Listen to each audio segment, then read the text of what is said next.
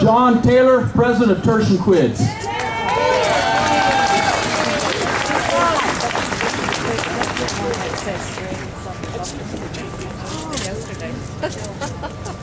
God, it's good to be up here. I've been standing in the mud right over there and my feet are cold.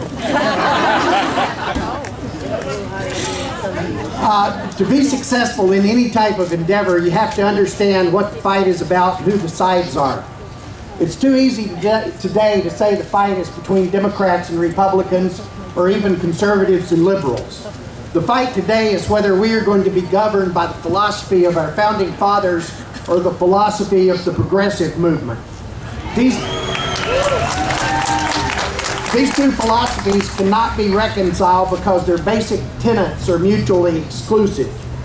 A little more than 200 years ago, our founding fathers came on the scene and altered world history by setting a new order for the ages. No longer was the political hierarchy the king, the court, and as an afterthought, the people. Now the role of the sovereign would be performed by the people themselves. People had rights. Those rights did not come from government, so those rights could not be taken away by government. The limited power the government had was by the consent of the governed, and the purpose of govern government was limited to protecting rights. Unfortunately, in the early part of the last century, the progressive movement started to take hold in this country with one mission, and that mission was to repudiate the philosophy of the founding fathers.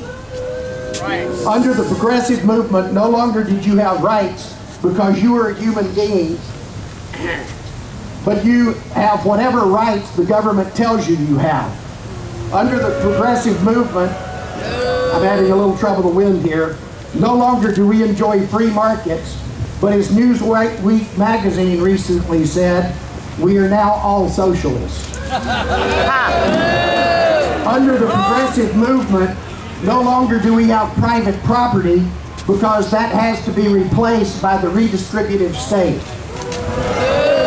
Under the progressive movement, the objective standard of the rule of law in which every man who came before the bar of justice was equal had to be replaced with social justice where every man is treated differently depending on how politically well connected he is. No. Under the progressive movement, the constitutionally limited government of the founders was to be much too confining, confining for those in power. They had to be swept aside by a living constitution that can say on any given day what those in power say it says under the progressive movement, you have to be kidding with the idea that sovereignty rests in the people. Sovereignty is vested in the government, and not just any government, but the federal government. And what is the purpose of government? Under the progressive movement, the purpose of government is not limited to protecting rights, because your rights are nothing more than an obstacle to the utopian visions of those in power in the first place. So there you have it. You must decide. Are you the intellectual heirs of the founders of this country? Yeah. Now let me ask you a couple of questions. Does Nancy Pelosi decide what your rights are? No. Does, does Harry Reid decide that we are all socialists? Does your time, labor, income, and property belong to Barney Frank to redistribute anywhere do you want to give Chucky Schumer the blank check called social justice? Do you want the current crowded Washington to decide willy-nilly what the living Constitution might mean today? No! Do you want to give up your sovereignty to Charlie Rangel? No! Do you want to entrust your country and the future of your children and grandchildren to our community activists in chief? Virginians have always been called on to lead, and we have always risen to that challenge. It's time for us to do that once again.